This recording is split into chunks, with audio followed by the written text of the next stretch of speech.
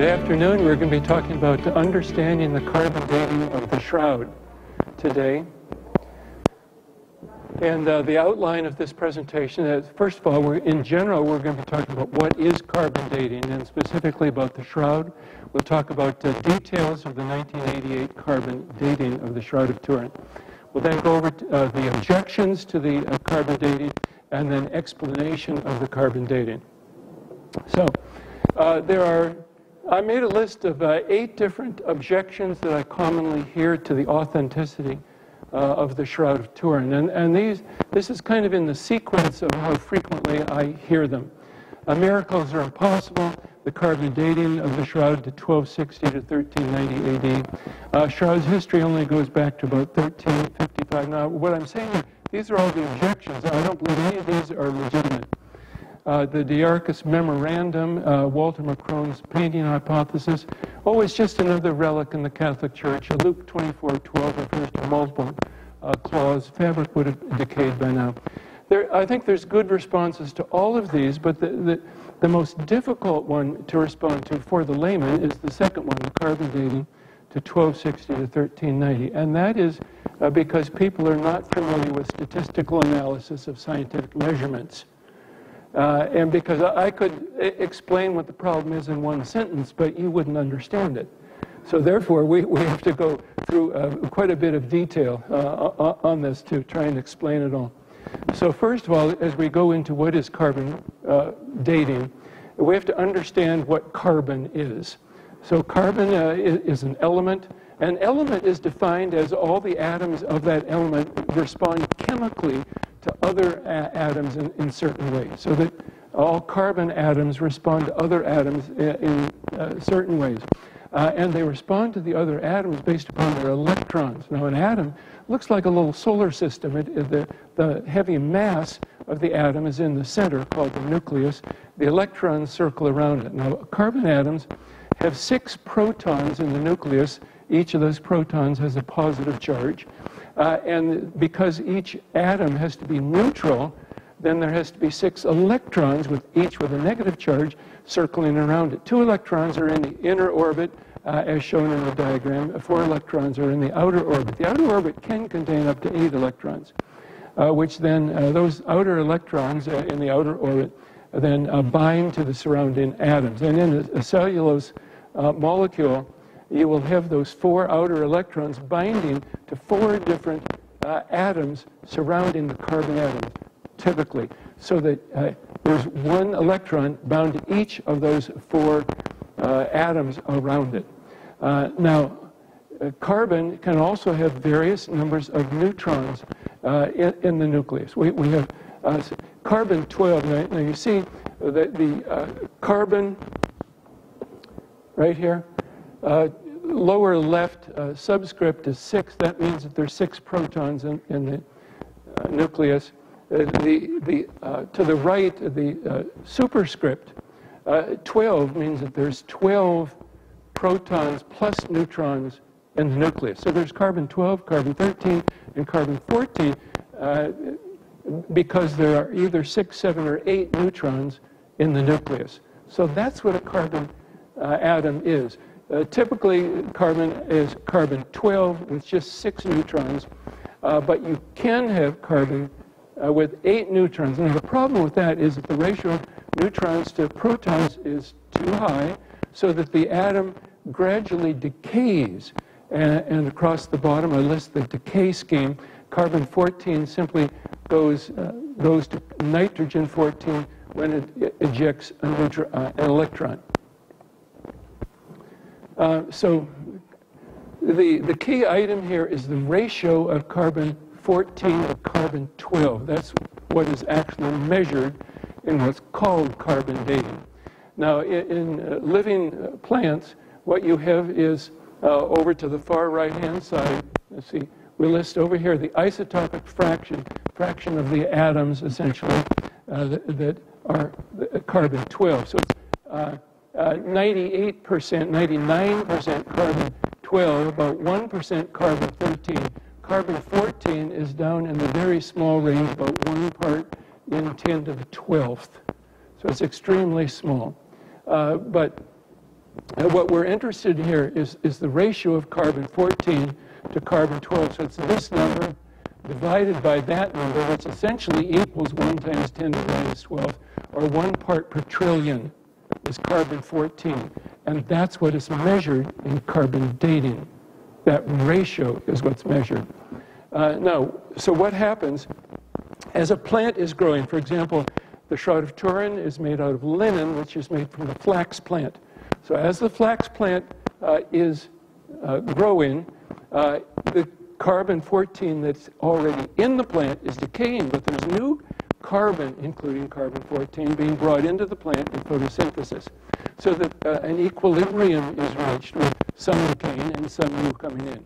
So in, in uh, what I'm plotting here, up to point zero, when I'm saying let's cut down the flax at point zero, uh, there, there would be a uniform uh, amount, let's call it 100%, uh, actually one part per trillion.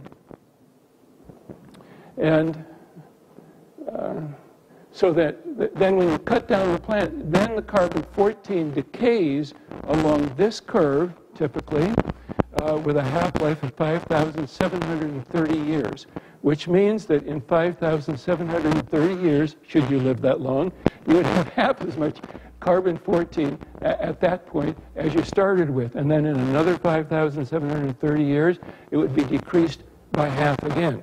So that you can see here, by measuring the amount of current carbon 14 that you have in the plant, in measuring the ratio of carbon 14 to carbon 12, uh, whatever value you come out with along this uh, y-axis, you, you then simply come across to this point, and that gives you the age. And that's what they did in carbon-14 dating.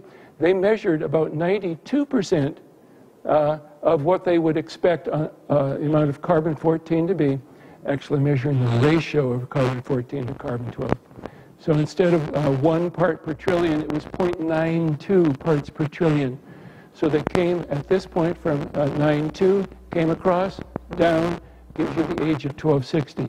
Very simple. But the problem is there's assumptions in this. The assumption is that the ratio of carbon 14 to carbon 12 has not been altered by anything. Okay? Now, so how is carbon uh, dating done? The carbon 14 to carbon 12 ratio is what's measured experimentally using equipment, people and procedures, standards, and chemicals. Now, I'm, I'm saying that all that process was correct. They used the, the equipment had no fault in it. The people and procedures were, uh, were, were, proper. The standards and the chemicals were proper.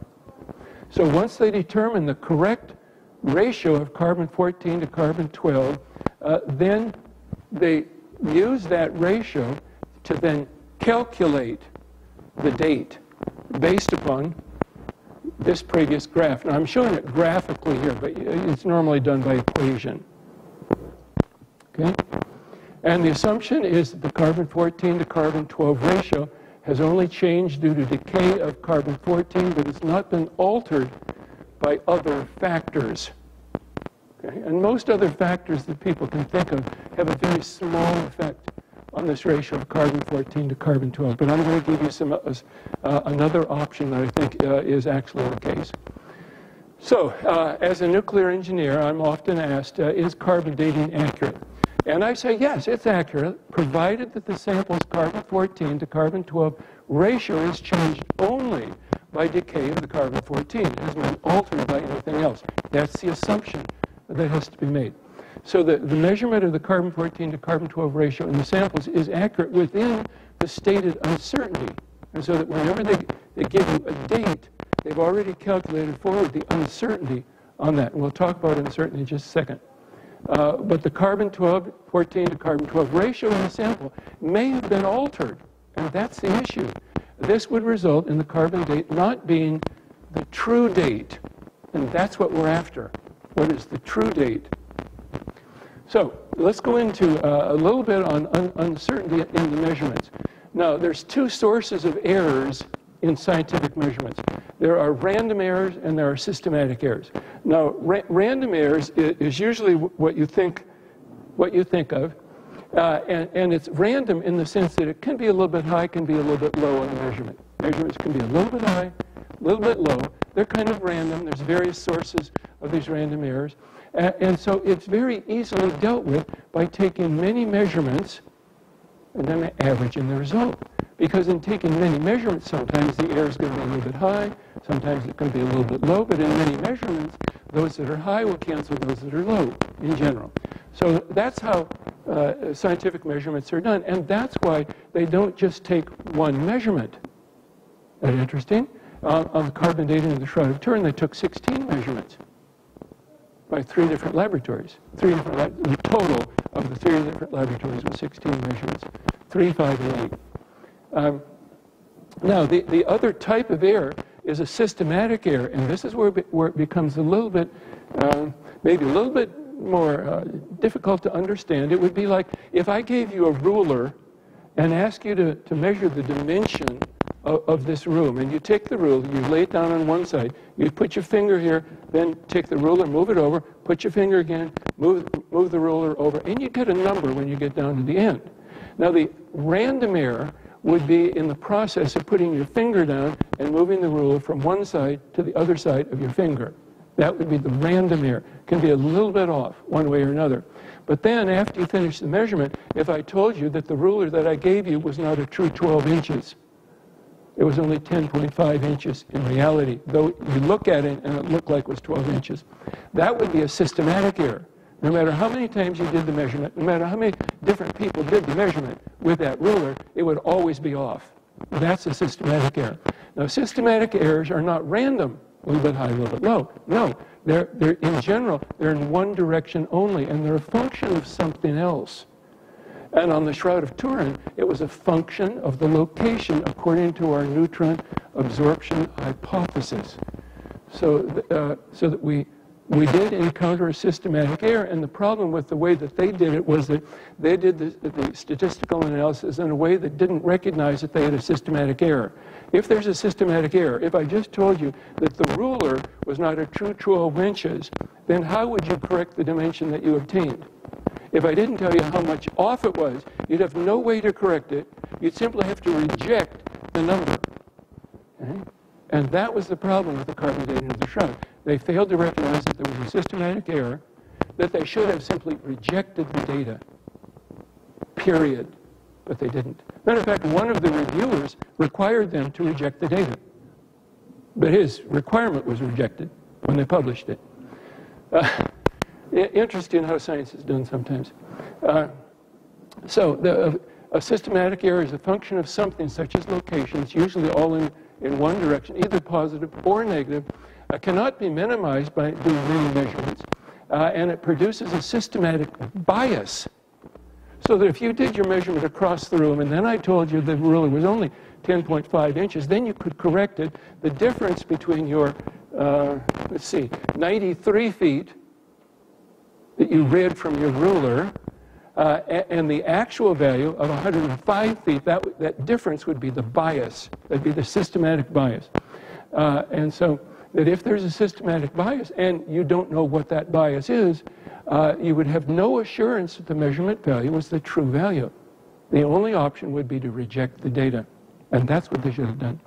Now, what is, what, why is there uncertainty in measurements?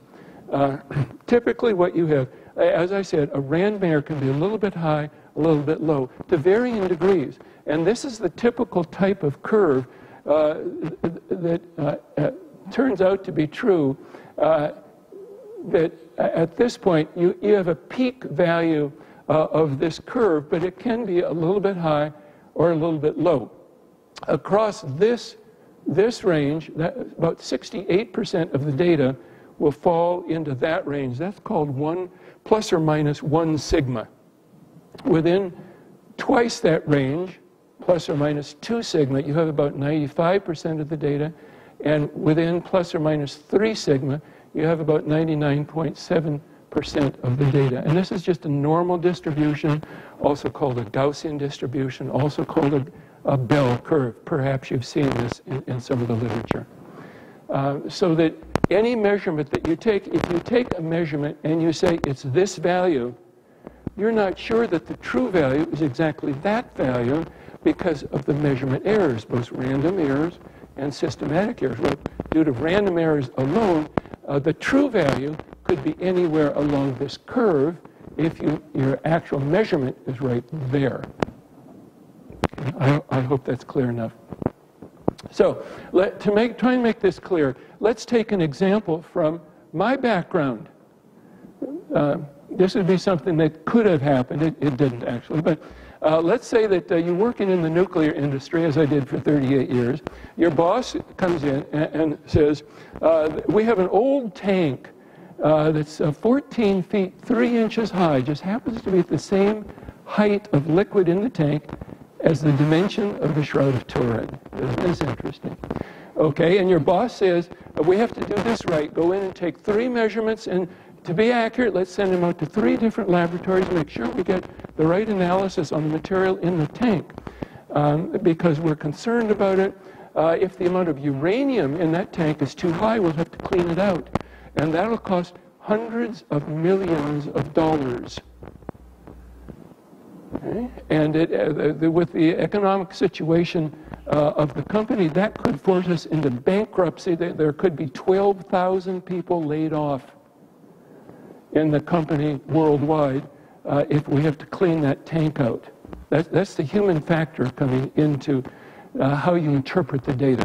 So take three measurements on this tank. So you do, you go out and you take three different measurements. Now what you do is you insert a, a little item, a, a little uh, a volume that you open the door and the material flows into it, then you take it out and you send it to the laboratory for measurement. Now, before you do this, you know that there's a concern over material settling in the tank. So you turn on the mixer.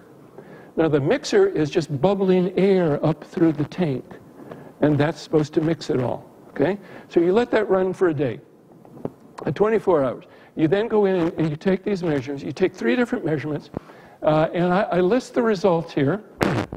Sample one that you take is, a, is 1,200.8 milligrams per gram of liquid. That's milligrams of uranium per gram of liquid. The uncertainty there is 30.7. That talks about the, the width, that's the one sigma uncertainty on that uh, normal distribution.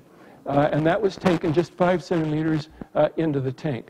The next one is uh, 1,273.9 with the uncertainty of 23.7.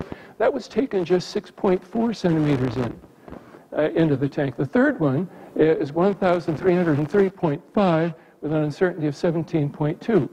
Uh, uh, and that was taken only 7.7 centimeters into the tank.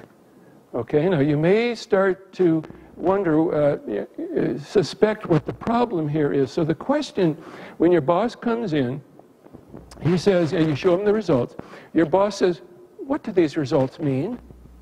Okay, so you draw a graph of it. So this is the graph.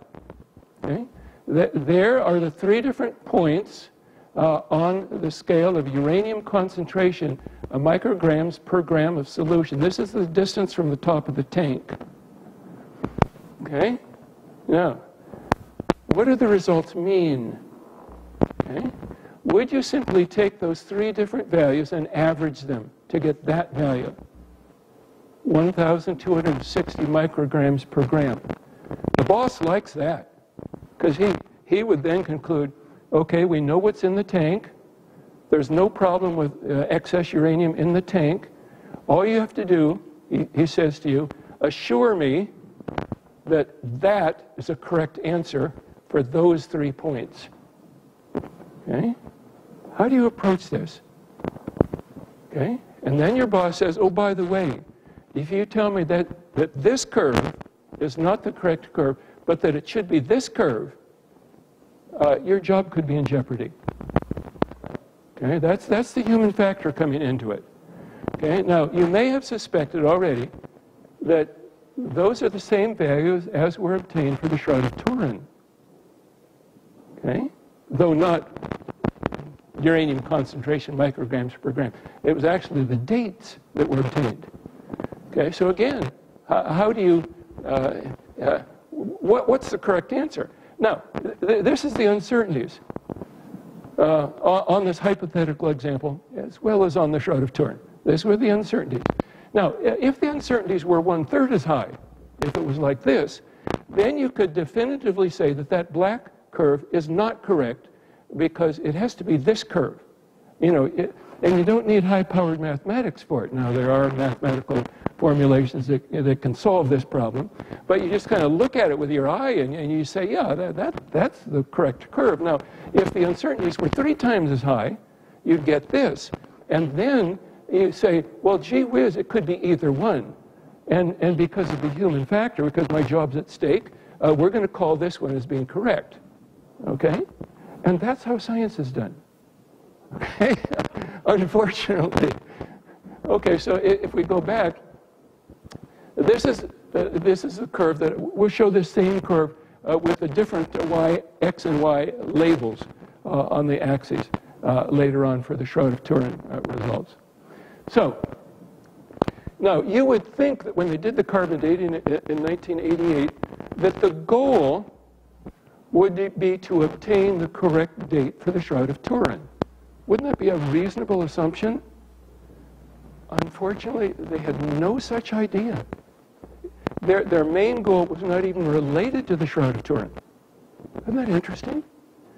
Uh, for example, their main goal was to validate uh, the accuracy of what they called the small sample dating technique. It was a brand new dating technique.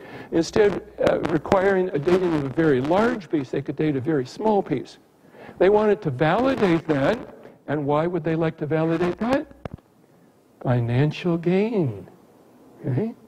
Big money, hundreds of, I would assume millions of dollars involved in proving the small sample dating technique. Now, to prove the small sample dating technique, what they wanted was to accurately date a very high profile item. And at that point in time, what higher profile item could there be than the Shroud of Turin? I showed you the four page foldout yesterday from uh, National Geographic. It was a very high profile item at that point. But you notice their means is to accurately date a very high profile item. But in choosing the Shroud of Turin, when I say that to accurately date, what does that mean? You have to know what the date is. Okay? You have to do the experiment, do the calculation, and have it turn out right, whatever right means. So you have to know the date of the Shroud of Turin. So what they did was that they assumed that the uh, earliest date for the continuous history of the shroud, which was uh, mentioned yesterday, about 1355 to 1356, was the earliest date for the continuous known history of the Shroud of Turin. That's when they showed it up in Lirey, France, as the burial cloth of Jesus. But as I showed yesterday, uh, it is, I believe, well uh, historically attested that it was in Constantinople long before uh, that 1355 uh, or 56 date. So what they, what they did in their experiments, they used the accelerator mass spectroscopy, that's AMS, to accurately date the shroud. Now, in accurately dating the shroud, what were they measuring? The ratio of carbon-14 to carbon-12. Uh, but then they took that ratio and applied it using their assumption that the Shroud of Turin, listen, the Shroud of Turin was just a normal piece of cloth and had not gone through anything unusual. That's the assumption. To allow them to use what I showed you on the black curve as, as it gradually decayed.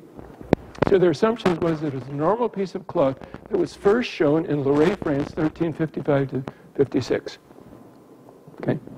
Now, uh, this is the paper that uh, came out in uh, 1989, uh, doing reporting the values and doing the statistical analysis to the extent that they wanted to report it uh, uh, from the 1988 carbon dating of the shroud. they, they sent it off to three different laboratories. The average of the three different laboratories was 1260 AD. The uncertainty was 31 years. so that that value is then corrected uh, for the change in carbon-14 in the atmosphere. And so that based on the assumption that the 1260 was correct, uh, uh, they then corrected that to obtain a range of 1260 to 1390 uh, AD. And they said uh, that that was a 95% curve, which means that there was a 95% probability, they said, that the true date falls within that range. Okay? So that, uh, they, they concluded then these results provide conclusive evidence that the linen of the Shroud of Turin is medieval. Now, this is the statement that one of the reviewers uh, required to be deleted because it, th this conclusion does not follow from the inadequate statistical analysis. But uh, Nature wanted to publish it, and so they did, uh, with that statement in it. Now, uh, this is how they cut the sample. This is an actual picture of them cutting the Shroud of Turin from uh, the corner, uh, the lower uh, corner below the foot on the front image, which would be right about there. That's where they made the cut. Now, the next one, I'm going to show you this area uh, closer uh, of that. It's a diagram that I made up. What you see here, this is the main shroud piece. This is a side strip uh, that was evidently cut off during the manufacturing process and then reattached. That's what we think happened. Uh, and so this is the seam that reattaches that side strip to the main uh, shroud piece. They would always hold it up from the side, so the two corners, I, I think, just tore off due to use, so that this part here is actually, you're, you're seeing the backing cloth uh, on the Shroud of Turin when, when you look up here. Anyway, this is where they made the cut, right here, about 8 centimeters by about 1.2 centimeters, 1.5 centimeters, somewhere in there. They, they then cut this, the seam off. They cut here uh, to send to Arizona. They then cut here and here to send to uh, uh, Zurich and Oxford.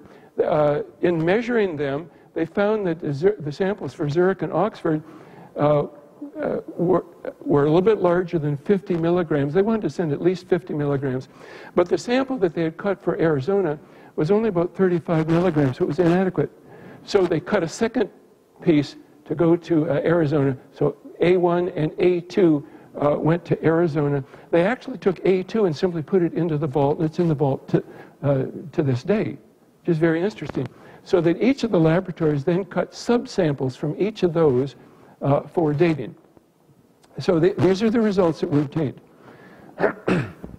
so at Oxford, they did three different measurements, Zurich five, and Arizona, which is interesting. In the publication, they said that Arizona only dated four, but they did at eight. Why would they deceive us like that? That really was a deception as far as I'm concerned. Why couldn't they tell the truth about it? Okay? Well, be, because there's problems in their statistical analysis. So that uh, when we take all eight values, it, it, took, what, 25 years to, to get the values for the eight values instead of the four? Uh, they wouldn't release them. Uh, so it, it took, uh, I think it was uh, several Freedom of Information Acts uh, submitted to the British Museum to actually get the hundreds of pages of all the background data to the measurements and the statistical analysis, and that was just obtained uh, two years ago. And the experiments were done in 1988. Okay? Amazing how they, they could be withheld for that long. It kind of indicates that something was going on. Uh, so uh, these are the values, when you just average them, these are the values, and those are the same values that I used on the uh, hypothetical example of uh, testing the tank of uranium uh, in, in, liquid. Uh, and so let's see what else we can see here. Oh, you can see that the values are increasing from, from one to the other. Um, let's see.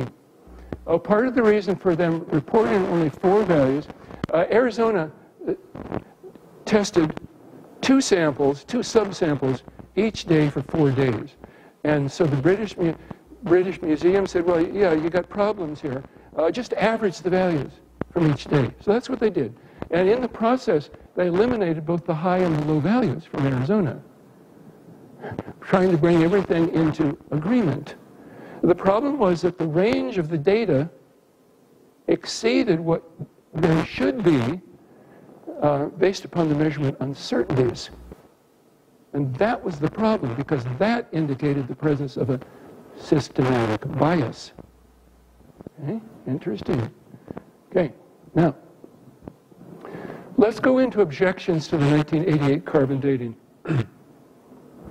well, we have historical evidence that the shroud existed uh, long before 1260 AD. Uh, the image could not have been made in, in, the range of 1260 to 1390. They didn't have the technology to do it. We don't have the technology to do it today. There's 13 other contradictory date indicators. Uh, since I made up this slide, there's probably one or two more. Uh, the, the, different laboratories don't agree with each other. Uh, the date depends on the sample location. Uh, detailed statistical analysis shows that the constant value of 1260 has a very low probability of being true, and the proposed uh, that there are many different proposed explanations for the carbon dating. I'm going through this very quickly, but that's the sequence that I want to talk to you about. Let's go into the history of the Shroud of Turin before 1260, so that I talked to you a little bit about the Hungarian Pray manuscript yesterday, uh, and I showed you just the bottom page. I'm showing you the full page now. The upper scene is uh, the three men uh, doing the burial. The bottom page is what I showed you yesterday. Uh, it shows you the herringbone pattern on the top cloth and the three, the uh, four hole uh, in a, four holes in an L-shaped pattern that was evidently copied from the Shroud of Turin. Thus, this, uh, which is dated to 1192 to 1195, is 65 years uh, or so before uh, the carbon date.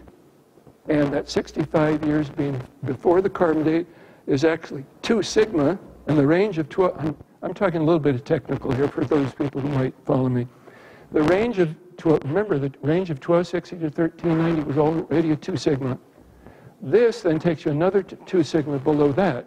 So you're now 4 sigma below the carbon dating. And that's not going to occur by probability. Okay, at least that's the normal criteria. Only 2 sigma is your normal acceptance criteria. But now we're 4 sigma. The history, based on the Hungarian Pray manuscript, is 4 sigma below the carbon dating. So based on the historical evidence of the Hungarian Pray manuscript, the carbon dating should be rejected. Uh, this is the coin that I carry in my pocket. I've shown some of, uh, some of you. Uh, and, and, this was an authentic Byzantine coin minted under Constantine VIII uh, between 1025 and 1028, according to experts on coins. So that again, uh, with this date down at 1025 to 1028 compared to the carbon dating in 1260, this coin that I carry in my pocket disproves the carbon dating. Now, coins like this actually go back to about 675 AD, only they're gold and cost about $2,000 on eBay, whereas this cost about 150 on eBay. Um, this is the Pantocrator image found in the monastery down in Sinai, uh, dated approximately to 500 AD. Uh, the image on this has all the characteristics of the Shroud of Turin. Uh, before this, uh, Jesus was pictured as bald with no facial hair at all, like the emperor. When they found the Shroud of Turin, evidently hidden in a wall to avoid persecution, they then, the painters then knew what Jesus looked like and painted him just like the Shroud of Turin. Okay? Uh, full frontal appearance, parted hair in the middle, hair longer on one side, full beard, mustache, long nose, large owl-like eyes, they're, they're called. Uh, so uh, there are many different similarities. Uh, even th this little piece down here, made out to be part of his, his clothing, uh, is shown on the Shroud of Turin, though it's probably, probably just a crease. So Let's go into uh, the image could not be made in 1260 to 1390. Um, now, there's so many different features of the shroud like this. Uh, an artist or forger in 1260 to 1390 would not have known uh, or, or been able to do so many different things. Create a negative image without pigment, chemicals, liquid, or scorch that contains 3D information of the body to cloth the distance. Uh, or uh, create fiber discoloration caused by a change from single to double electron bonds in the cellulose. That's actually what's causing the discoloration in the fibers. It's the carbon atoms that are in the cellulose. Normally, the four different outer orbit electrons are connecting to four different atoms, but when you change uh, those four uh, surrounding atoms, only three, then one of the electrons has to move over. So you create a double electron bond. That carbon atom then vibrates differently when excited by uh, light coming in. So it fluoresces differently or, or, it reflects differently. That's why we see a different color, because the single electron bonds have been changed to double electron bonds that were uh, uh, it, uh, in the carbon atoms that were already in the cellulose. And how do you do that? To create the image of a naked crucified man. Isn't that interesting? Interesting question. Uh, well, so the, the uh, forger would not have known about flogging or crucifixion as it was done in the first century because it was outlawed about 377 AD. Uh, and he would not have put the nails in the correct locations in the wrist with thumbs folded over, contrary to all the paintings from the Middle Ages. Uh, an artist or forger in 1260 to 1390 would not have known, known to add pollen that is unique to Jerusalem on the shroud, would not have known to add pollen from a plant with long thorns around the head, uh, it, it would uh, not have known to put microscopic dirt into abrasions on the nose uh, and the knee in anticipation of the invention of the microscope, for example. Uh, he would not have known to put chips of Jerusalem limestone uh, on the Shroud of Turin. He would not have known to put bilirubin and nanoparticles of creatine and ferritin in the blood, indicating torture. Uh, and he would not have known to use a unique stitch from the first century to connect the side piece onto the main shroud. So we have all these uh, aspects of the Shroud of Turin that indicate that it can't possibly be from 1260 to 1390. Let's go into the 13 other uh, uh, dates that are contradictory uh, to the Shroud of Turin. And I'm, I'm just going to pick out uh, maybe one or two from, from each one. The Hungarian Pray manuscript was 1192 uh, to 1195. Uh, and uh, let's see, uh, the original painting goes back to 550. So yes, the Shrouded Cone goes way back before the carbon dating. Uh, let's see, another one, no, number 14 here. Uh, that, I'm sorry, okay, number 13. Testing was done by Giulio Fanti in Italy using three different tests on reflectance and tensile strength of linen as it ages. And the results of his scientific experiments was that the Shroud of Turin dates to 33 BC, plus or minus 250 years. Uh, let's go into the different laboratories don't agree with each other. Uh, if we compare the value from Arizona and Oxford, uh, 1303 uh, plus or minus 17, 1200 uh, plus or minus 30.7, the difference is 102.7. Uh, when you calculate the uncertainty of the difference, you take the square of the uncertainties, add them, and take the square root.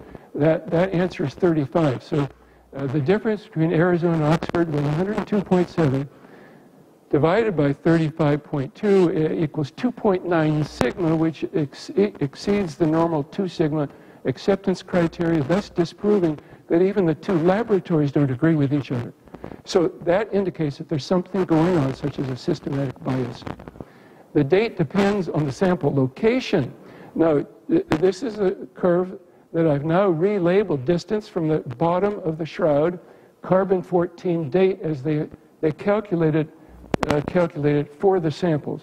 So I'm saying that the, the ratio of carbon 14 to carbon 12 was correctly uh, determined experimentally for each of the samples, uh, but that those sample, the ratio had been altered for each of those uh, samples so that uh, when we, so that it ought not to have been dated to 1260 by simply averaging them. And that's the problem with it. Uh, using the uncertainties, I can calculate using a chi-squared statistical analysis technique the probability of this curve being correct or the probability of this curve being correct. Now the answer is the probability that this is the correct curve, which is what they used, is 1.4%. The probability that this curve is correct is 78%. Okay? Now, if I went to a horse race and there were two horses, and God told me one horse was 78% chance of winning, the other, well, there was multiple horses, okay? One was 78%, the other was 1.4. Which should I bet for, bet on if there was the same return? The one that had the higher probability. Same thing here. They should have said, yes, there, there's a distribution of the dates. And you see, it, it's a function or depends on the position on the Shroud of Turin. Detailed statistical analysis. Okay, uh, that's, I'm sorry, that's what I've just did. Okay, uh, proposed explanations. We have eight different proposed explanations um, that, that have been considered since 1988. The first one that was proposed was neutron absorption uh, by creation of new carbon-14. Uh, and then there were uh, seven, uh, six other proposals that have been considered and rejected. The, currently, the most common explanation that you'll hear is the invisible reweave concept, but uh, that is that there was new material invisibly rewoven into old material so that when they cut it, they got both, therefore it dated to the values that it did. I don't think that's true. There really is no such thing as an invisible reweave. You can always see it uh, on the back uh, of the cloth.